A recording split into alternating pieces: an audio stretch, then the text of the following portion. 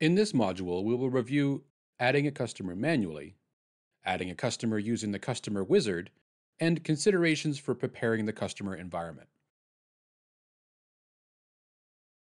The process of adding customers to N-central requires optional details that include contact information, configuring limits, downtime, and custom properties.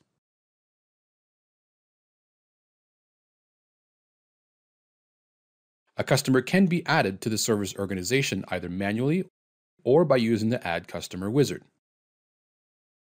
The Customer Wizard guides you through setting up a probe and discovery job to find your devices so that you can import them.